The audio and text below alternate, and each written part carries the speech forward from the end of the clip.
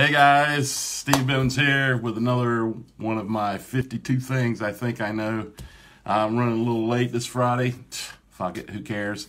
Uh, so this one is is simple. It came from I don't even know. It was an idea that came up in a conversation yesterday, and I posted a little you know meme on it. It wasn't even really meme. It was just text, uh, and that is everything in moderation even moderation itself.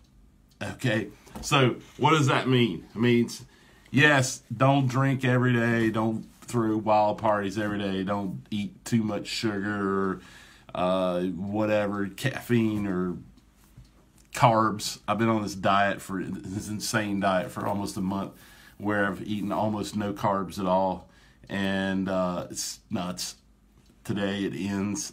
And so that was probably why what inspired me yesterday to write that. Um, but what i mean by moderation even moderation itself. Don't overdo the moderation thing. In other words go out on a limb get drunk eat too many carbs eat some sugar drink beer party do something crazy. Now don't jump off a building without a parachute but if you got a parachute, why not? Try it. I probably wouldn't do that, but maybe you would. Uh, because why? Because if you don't, if you don't take chances, then you're already dead anyway, and you're just waiting around for the funeral. And what the fuck good is life if you never take any chances? There's my mother. Hi, mom. Um, so take chances in life. That's what it's about. Everything in moderation especially moderation itself. So don't take that too far, right?